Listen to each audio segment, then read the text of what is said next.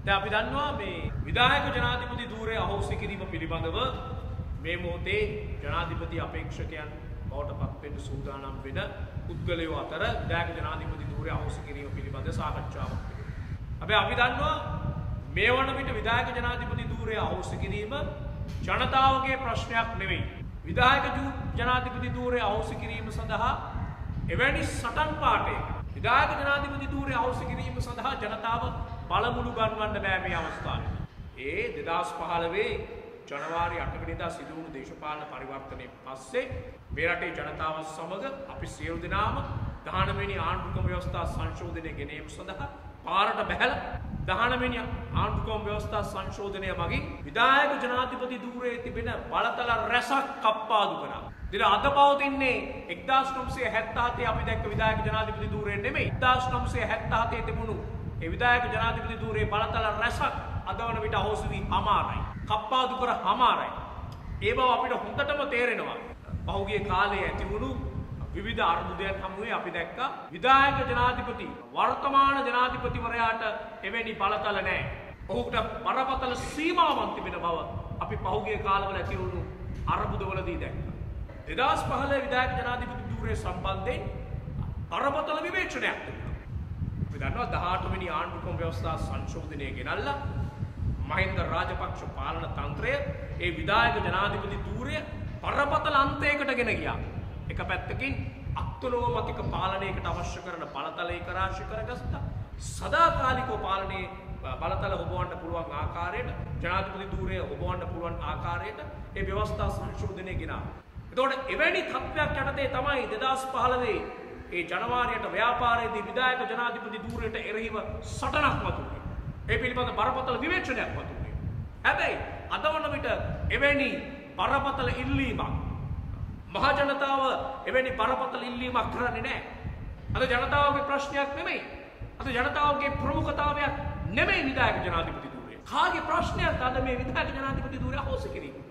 අපිට හොඳටම පැහැදිලි මේ විධායක ජනාධිපති ධූරය අහෝසි කිරීම රටේ ප්‍රශ්නයක් නෙමෙයි. මේ විධායක ජනාධිපති ධූරය අහෝසි කිරීමේ අවශ්‍යතාවය තිබෙන්නේ රනිල් වික්‍රමසිංහ මහත්තයාට.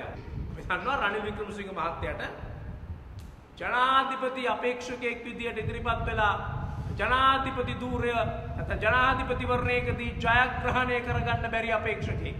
රනිල් වික්‍රමසිංහ මහත්තයා මේක පෙන්නලා තියෙනවා.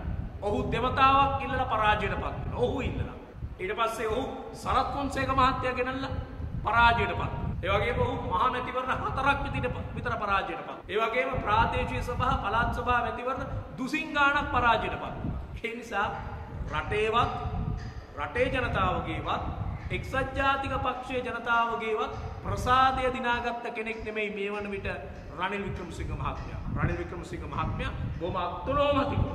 ආ ප්‍රජාතන්ත්‍රවාදය පවා නොසලකා හරිමින් විවිධ ආකාරයේ උපරවැට්ටි යොදා ගනිමින් නිර්ලජ්ජිත විදිහට නිර්ලජ්ජිත විදිහට බලයදීම සඳහා කටයුතු කරන පුද්ගලයෙක් බවට පත් වෙලා තියෙනවා මේ මොහොතේදී.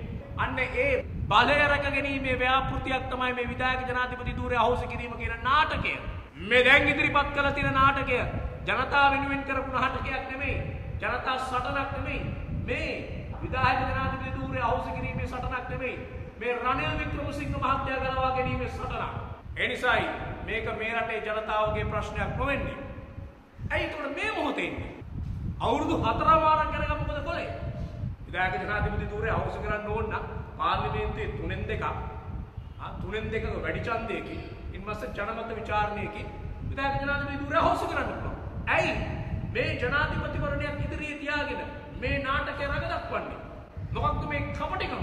මේ මිනුමුකුත් නිසා නෙමෙයි. මේ සජිත් ප්‍රේමදාස මහත්මයා මේ වන විට එක්සත් ජාතික පක්ෂයේ රටේ ඒ ජනතාවගේ පොදු අභිලාෂය නියෝජනය කරන නායකයා බවට මතුවෙමින් තිබෙනවා. අන්නේ ජනතා සටන සහ ජනතා අභිලාෂයන් විනාශ කිරීමේ කුඩු පට්ටම් කිරීමේ ව්‍යායාමයක් ව්‍යාපෘතියක් තමයි මේ විධායක ජනාධිපති ධූරය අහෝසි කිරීමේ මේ නාටකය. මේ නාටකය ඒක. මේ රටේ ජනතාවට විධායක ජනාධිපති ධූරය මේ මොහොතේ ප්‍රශ්නයක් නෙවෙයි. ඔවුන්ගේ සටන් පාටයක් නෙමෙයි. මේ මොහොතේ ජනතාව ඉල්ලා සිටින්නේ Tamanගේ පුදු අභිලාෂයන්, ජනතා අභිලාෂයන් නියෝජනය කරන ජනතා නායකයෙක් ඒ ජනතා නායකයාව මේ රටේ බහුතරය මේ රටේ ජනතාව තෝරාගෙන හමාරයි එක්සත් ජාතික පක්ෂය තෝරාගෙන හමාරයි. තමන්ගේ අපේක්ෂකය තමන්ගේ ජනතාවාදී අපේක්ෂකය. තොට ජනතාවට අවශ්‍ය කරන්නේ ඒ ජනතාවාදී අපේක්ෂකයා ජයග්‍රහණය කිරීමෙන්. ජනවාරි අට මේ මහජන ව්‍යාපාරයේ ජනවාරයට පරිවර්තනයෙන් ඉටු කර ගැනීමට නොහැකි වුණු ඉටු කර ගැනීමට නොහැකි වූ අභිලාෂයන් රැක ගැනීම සහ ආරක්ෂා කිරීම සහ දිනා ගැනීම. ඒ සඳහා සජිත් ප්‍රේමදාස මහත්මයා වටා මේ වනට ජනතාව ඒක රාශී වෙමින් තිබෙනවා. මේක තමයි මේ මේ මොහොතේදී ජනතාව බලාපොරොත්තු වෙන දේ. ජනතාවගේ අභිලාෂය. අපි දැක්ක කරුණ ජයසූරිය මහත්තයා කියලා තිබුණා. ඊයේ වන විට අපි මාධ්‍ය නිවේදන දැක්කා. ඔහු සූදානම් අපේක්ෂකත්වය බහර කරනවා. දැන් අපිට පේනවා මේ කරු ජයසූරිය මහත්මයා මේ පෙනී අපි දැක කරු ජයසූරිය මහත්තයා මුලින් කිව්වේ කොහොමද? කරු ජයසූරිය මහත්තයා මුලින්ම කිව්වා සියලු දෙනාගේ කැමැත්තෙන් තමයි Taman අපේක්ෂකත්වය බාර ගන්නවා නම් බාර ගන්න. රනිල් වික්‍රමසිංහ සජිත් ප්‍රේමදාස මේ සියලු දෙනාගේ කැමැත්තෙන්. ඊට පස්සේ අපි දැක්ක ටිකක් පල්ලම් බහැලා කිව්වා බහුතරයේ කැමැත්තෙන් මේක මම බාර ගන්න සූදානම්. අපි ඊය වන විට දකින්නවා ඊට පල්ලයට බැහැලගේවා නීත්‍යානුකූල බහුතරයේ කැමැත්ත දෙනවා නම් මම සූදානම් අපේක්ෂකයා බවට පත්වෙන්න. බෞද්ධරය පිළිබඳ කැමැත්තක් නෙවෙයි තිබෙන්නේ. බෞද්ධරයේ ප්‍රශ්නයක් නෙවෙයි තිබෙන්නේ. මේ කරු ජයසූරිය මහත්මයා උර දෙන්නේ. කරු ජයසූරිය මහත්තයා බැහැලා තියෙන්නේ මොන සටනටද? කරු ජයසූරිය මහත්තයා බැහැලා තියෙන්නේ රනිල් වික්‍රමසිංහ ගලවා ගැනීමේ සටනට. ඒ නිසා තමයි අපිට පේන්නේ කරු ජයසූරිය මහත්මයයි කරු ජයසූරිය මහත්මයාව ඉදිරියට ගෙනීම සඳහා කටයුතු කරන කොළඹ කොළඹ සිවිල් ප්‍රභූ කණ්ඩායම් කිහිපයක් සටන් පාටේ විදියට ඉදිරියට ගේන්නේ ජනාධිපති ධූරය අහෝසි කිරීම. දැන් මේ රටේ ජනතාව සූදානම් නැහැ. ජනාධිපතිවරයෙක් පත් කරලා විධායක ජනාධිපති කෙනෙක් පත් කරලා ඒ විධායක ජනාධිපති තමන්ව අහෝසි කර ගැනීම සඳහා මේ රටේ ජනතාව ඡන්දය පාවිච්චි කරන්න සූදානම් නැහැ.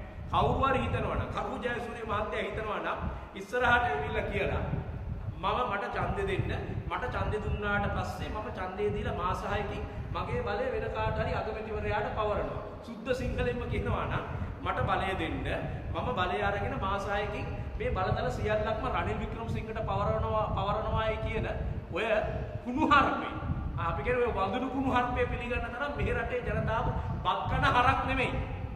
මේ රටේ ජනතාවට එක්සත් ජාතික පක්ෂයට අවශ්‍ය නැහැ බලය අරගෙන මම බලයට ඇවිල්ලා මගේ බලය අත්හැරලා ඒ අත්හැරපු බලතල එක්සත් ජාතික පක්ෂ දශක ගණනාවක් ආපස්සට ගෙනිච්ච මේ වර්තමාන නායකයාට බලය පැවරීම සඳහා එක්සත් ජාතික පක්ෂය සූදානමුත් නැහැ මේ රටේ ජනතාව සූදානමුත් නැහැ. කරු ජයසූරිය මහත්තයා ඒක තේරුම් ගන්න ඕනේ.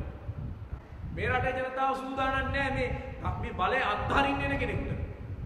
මේ රටේ ජනතාවට ඕනෑ කරන්නේ ඒ බලය අරගෙන ජයග්‍රහණය කරන අපේක්ෂකෙක්. ජයග්‍රහණය කළා තමන්ගේ අභිලාෂයන් නියෝජනය කරන නායකයෙක්. ජනතා අභිලාෂයන් ඉදිරියට ගෙන යන්න පුළුවන් නායකයෙක්. මේ බලය අරගෙන බලය අත්හැරලා ඒ බලය අගමැතිවරයාට රනිල් වික්‍රමසිංහට පවරලා ගෙදර ගිහිල්ලා බණක් භාවනා කරන බණක් භාවනා කරන කෙනෙක් අවශ්‍ය නැහැ මේ රටේ මිනිස්සුන්ට. වෙනස්සේ මිනිස්සු එච්චර නිකන් මොංගල් නෑ. අපි දන්නවා රට පුරා ගියාම අරුජය සූරිය මහත්තයාට අපි කියන්නේ කරට පුරා ගියාම අපි දන්නවා මිනිස්සු කතා කරද්දි කියන දෙයක් තමයි මහින්ද රාජපක්ෂ නැත්නම් රජුරුවන් වහන්සේගේ දෑත් ශක්තිමත් කිරීම සඳහා 16 දෙනෙක් සමග ගිහිල්ලා අවසානයේදී අතමනවන ආයි නැවත එක්සත් ජාතික පක්ෂයට ආපු කෙනෙකුට අපි ඡන්දෙ දෙන්නේ නැහැ කියන එක තමයි මිනිස්සු කියන්නේ. ආයි මිනිස්සු කියන්නේ එහෙම. ඒ නිසා අපි කරුජය සූරිය මහත්තයාට කියන්නේ මේ සූදානම් වෙන්නේ දෙවනි වතාවට. දෙවනි වතාවටත් මහින්ද රාජපක්ෂලාගේ දෑත් ශක්තිමත් කරන්නේ. මේ ආකාරයට බලය මං අනු වෙන වෙන කාට හරි පවරනවායි කියලා ජනාධිපතිවරණයට යන කෙනෙකුට මේ රටේ කවුරුත් ඡන්දයක් දෙන්නේ නැත. එවැනි ඡන්දයක් නොලැබෙනකොට ජනාධිපති ධූරයේ ජයග්‍රහණය කරන්න බැරි වෙනකොට මේ ආකාරයේ සටන් පාටියක් ගේනකොට අනෙක් පැත්තෙන් අයිට විරුද්ධව ශක්තිමත් නායකයෙක් පිළිබඳ අදහසක් ගෙනෙමින් ශක්තිමත් පාලකයෙක් පිළිබඳ අදහසක් ගෙනෙමින් ගෝඨාභය රාජපක්ෂ වගේ කෙනෙක් සර්වාධිපති ස්වරූපේ ස්වරූපේ පාලකයෙක් බවට පත්වීමේ යෝජනා ඉදිරිපත් කරමින් කටයුතු කරද්දී මේ බලය අතට අරගෙන මම මාස 6කින් මම මේක අගමැතිවරයාට පවරනවායි කියන කෙනෙකුට ඡන්දය දෙන්නේ නැහැ මේ රටේ ජනතාව. ඒ අවසන් වෙන්නේ කොහොමද? අවසන් වෙන්නේ නැවත වතාවක් ඒකාධිපති ස්වරූපේ පාලනයකට මේ රට ගමන් කරමින් ගෝඨාභය රාජපක්ෂ වගේ ෆැසිස්වාදී පාලකෙක් අතට බලය ගෙන යමින් තමයි මේක අවසන් වෙන්නේ. ඒ නිසා තමයි කරු ජයසූරිය මහත්තයාට කියන්නේ මේ සූදානම් වෙන්නේ ඔබ නැවත වතාවක් රටේ ජනතා සටන පාවා දෙන්න. සටන පාවා දෙන පමණක් නෙමෙයි. ඔබ ඉතිහාසයේ ෆැසිස්වාදය සහ ඒකාධිපතිවාදයකට පාර කපපු පාර කපපු ජනතා ද්‍රෝහීන් බවට පත් වෙනවා. ජනතා ද්‍රෝහීන් බවට පත් වෙනවා විතරක් නෙමෙයි. ඔබ දෙවනි වතාවට ඔබේ පක්ෂයට ද්‍රෝහිකම් කරපු එක්සත් ජාතික පක්ෂය ද්‍රෝහිකම් කරමින් එක්සත් ජාතික පක්ෂයට පිටුපාමින් නැවත වතාවක් මහින්ද රාජපක්ෂගේ බෑග් ශක්තිමත් කිරීම සඳහා ඒ ව්‍යාපෘතියට දායකුන් කෙනෙක් බවට පත් වෙනවා. එවැනි කෙනෙක් බවට පත් වෙනවා. ඒ නිසා ඕනෑම කෙනෙකුට කරු ජයසූරිය මහත්තයාට අපි දන්නවා ටික දවසකට ජනාධිපති අපේක්ෂකයා වෙන්න පුළුවන්. ඒ වගේම තවත් කෙනෙකුට ටික දවසකට හිත හදාගෙන අගමැති අපේක්ෂකයා වෙන්න පුළුවන්. ඒ වගේ මේ සුරංගනා සටන් පාඨය මේ සුරංගනා සටන් පාඨය කියමින් මේ කොළඹ සිවිල් කොළඹ සිවිල් ප්‍රභූ මහත්තුරුන් කීප දෙනෙකුට මේක කියමින් නට නට සතුටු වෙන්න පුළුවන් ටික දවසකට. හැබැයි මේ නාටකය අවසන් වෙන්නේ මේ නාටකය අවසන් වෙන්නේ ඒකාධිපති ෆැසිස්වාදීකුට මේ රට බාර දෙමින්. මතක තියාගන්න ඕනේ විධායක ජනාධිපති තූර්ය තිබුණු නිසා තමයි 2015 2015 මහින්ද රාජපක්ෂ පරාජය කරන්න පුළුවන් වුණේ මේ රටේ ජනතාව විදියට එකතු වෙලා ඒ ජනාධිපති ධූරයට එරෙහිව සටන් කරලා. ජනාධිපති ධූරය තිබුණු නිසා තමයි රටක් විදියට එකතු වෙලා ඒ සටන කරන්න පුළුවන් වුණේ. රටක් විදියට ඉදිරිපත් වෙලා ඒ සටන කරන්න පුළුවන් වුණේ. නැවත වතාවක් අපිට ඒ අවස්ථාව ලැබිලා තියෙනවා. නැවත වතාවක් මේ රටේ සියලු ජන කොටස් වලට මේ රටේ සියලු ජන කොටස් වලට අවස්ථාව ලැබිලා තිබෙනවා ඒ ඒකාධිපති ෆැසිස්ට් වියරුව පරාජය කරන්න. ඒ වියරුව පරාජය කරන්න නම් අපිට අවශ්‍ය කරන්නේ ජනතා අභිලාෂයන් නියෝජනය කරන නායකයෙක්. ඒ නායකයා සජිත් ප්‍රේමදාස බව මේ මුළු රටේ ජනතාව රටේ ජනතාව දන්න දෙයක්. එක්සත් ජාතික පක්ෂිකයෝ දන්නවා. එක්සත් ජාතික පක්ෂ ඉල්ලන්නේ ඒකයි. අපිට අවශ්‍ය කරන අලුත් නායකයෙක්. අපිට අවශ්‍ය කරන අලුත් ප්‍රාර්ථනා, අලුත් අපේක්ෂාව, අලුත් අභිලාෂය. ඒ නිසා මේ සූදානම් වෙන්නේ කවුරුන් හෝ අරු ජයසූරිය මහත්තයා හෝ සූදානම් වෙනවා නම් මේ රනිල් වික්‍රමසිංහගේ ආරක්ෂක පලිය විදියට බෙල්ල දෙන්න.